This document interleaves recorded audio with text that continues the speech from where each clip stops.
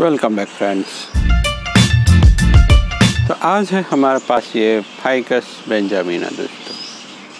देखिए इसके लीफ और उसको हमने स्टाइल किया था, और देखिए, ये नीचे वाली ब्रांच चली गई, ये तो मैंने निकाल भी दी, यहाँ भी एक ब्रांच थी, यहाँ ब्रांच थी, और ये कटिंग से किया हुआ प्लांट है दोस्तों।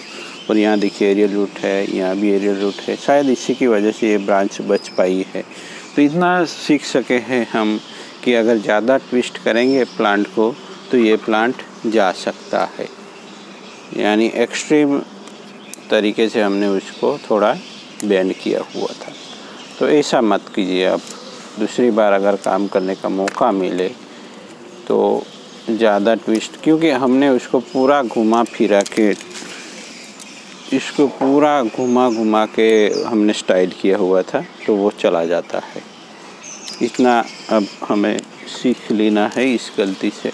तो दूसरी बार ये गलती दोहरानी नहीं है। ये जो डाईबैक हो चुका है, उसको हमने निकाल दिया है।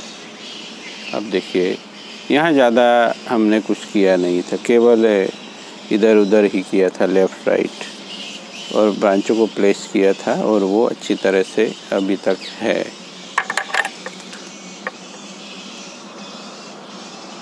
और उसमें ब्रांचिंग भी अच्छी होती है मेरे ख्याल से, तब भी हमने डिस्कस किया हुआ था। बट ये चला गया है नीचे से। बट ये ये भी अच्छा ही लग रहा है मेरे ख्याल से। तो आपको कई, आप लोगों को कैसा लगता है, ज़रूर बताएँ दोस्तों। तो अब बात करेंगे, अभी विंटर आ गया है तो क्या क्या प्रॉब्लम आता है? इसमें कुछ प्रॉब्लम नहीं दिखाई दे रहा। धीरे धीरे चालू होगा, क्योंकि ये अब इसका थोड़ा सा कलर बदलने लगा है।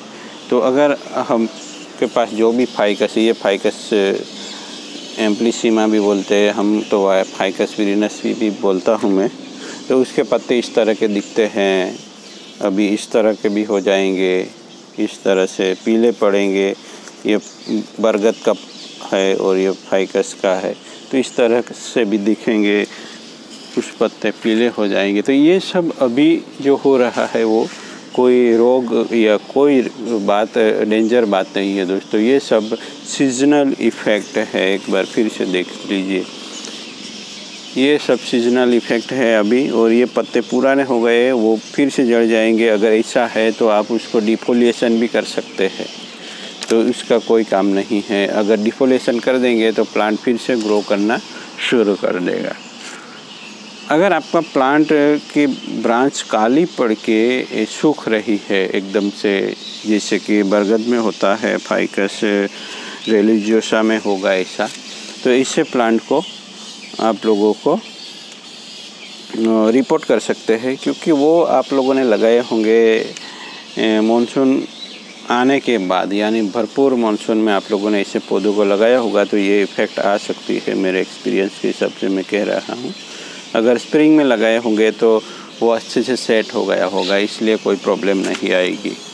तो अगर मानसून में ज़्यादातर कटिंग भी लगाने की कोशिश होती है, ज़्यादा बारिश होती है तो प्रॉब्लम आ सकता है, देख दोस्तों। तो ये सब नॉर्मल सी बात अभी अभी कुछ भी होगा प्लांट्स में, कोई पत्ते गिर जाएँगे, वो सब अभी नॉर्मल सी बात है दोस्तों। तो ये बढ़िया सा प्लांट लग रहा है।